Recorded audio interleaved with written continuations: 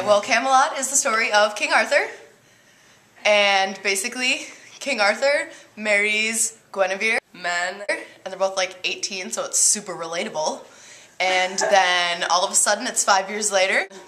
Basically, this just not nice guy Lancelot comes in, and he just sweeps Guinevere off her feet. Men, she does want to at first, but she does give in, because I mean, it's Lancelot, he's super good looking. It's true. What can you say about it?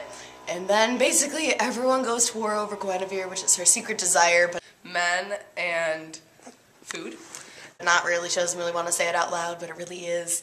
And then in the end, some people die, some people don't, but they end on a good note, so it's a happy ending. So, men, men, more men.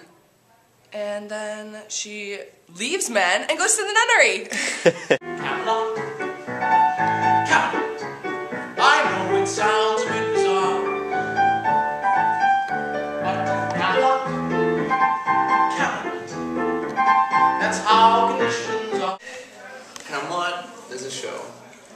about this guy.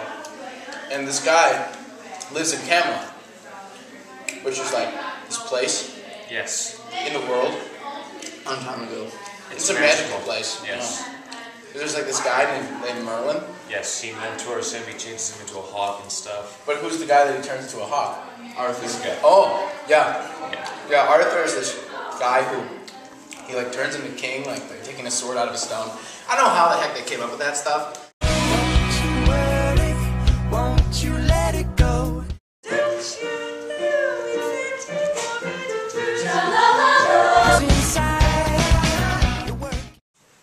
Um, I'd rather talk about something else. that the rock of our foundation is Nat Kier. I, I really think that if it were not for Nat Kier, we would not have this show. Because, I mean, he's Merlin, and nothing would happen without Merlin. I mean, he's just, he, he's Merlin, Forward one, please. Remember to think.